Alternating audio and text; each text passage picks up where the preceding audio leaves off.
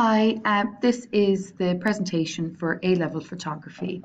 This is the first year we will be launching um, A-Level Photography at GEMS WSO. Um, we have Mr. Castle, who's an experienced um, photography teacher who studied photography at university, who will be teaching this course. So we're all very excited about launching this new program. For those of you who have um, completed a GCSE Art and Design, you will find that much of this course is very, very similar, very familiar to you. These, um, the components of the course are the same, so 60% coursework, 40% exam. Um, the main difference is there will be a written piece of work that will be um, part of the course. That will be no more than 3,000 words, which supports the practical work. The assessment objectives um, are the same. So again, if you have taken GCSE Art, you'll be familiar with um, these assessment objectives of AO1, which develop ideas, gather information, research um, about artists and craftspeople. AO2, developing ideas and experimenting. AO3, recording visual and other form, ideas, observations, so, um, and working into these and eventually coming up with a final outcome. Those of you who didn't do GCSE art will be familiar with these as well because that would have been the path we would have taken when um, further down the school through Key Stage 3 for, um, G for art, okay, at Key Stage 3.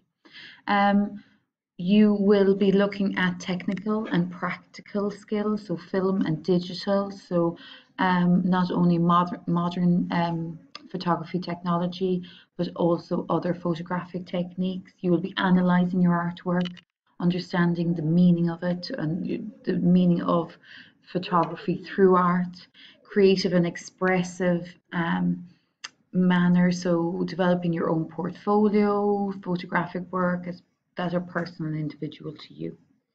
Um, we have the details of the course available on Teams um, for Year 11 students if you need to access these. And I've also included in that um, an exemplar sketchbook for you to access and for you to explore. Um, this really prepares you, this course really prepares you for university.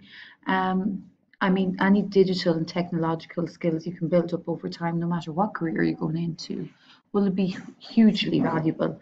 And um, for those of you going into art, this will be especially valuable um, in learning how to build portfolios, how to um, learn how to use cameras, the understanding of the makeup of a camera and how photographs are recorded and the history of this over time as well.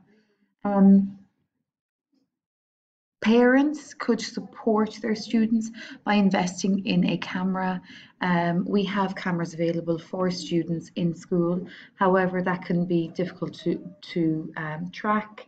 Um, and I think the, the, most beneficial thing a student can do if they are to undertake um, photography at A level is to invest in their own camera so that they can explore um, inspiring visuals that are around them so they can build their own portfolio um, so that they have the freedom to um, utilize the, the knowledge built over this period of time.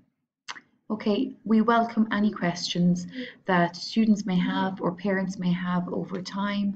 And if you need any more information, please do not hesitate to get in touch.